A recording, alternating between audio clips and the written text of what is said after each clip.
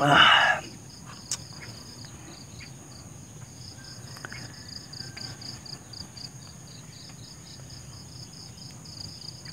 Kain tayo mga kalapnoy. Uh, sinaing na gulyasan. Sa sampalok po, sa sampalok. Yung tuyong sampalok at adobong sitaw.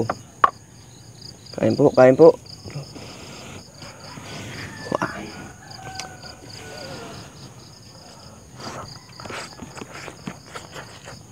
Mm.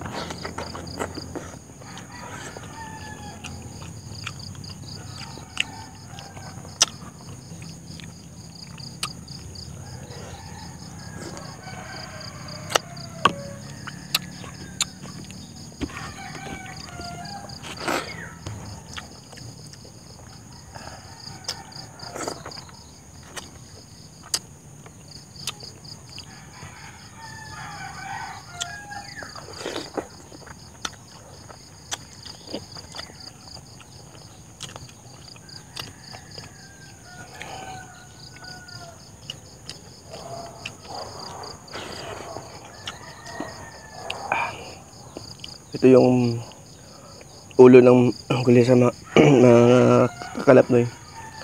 Yan ang masarap. Yung panga. Mm.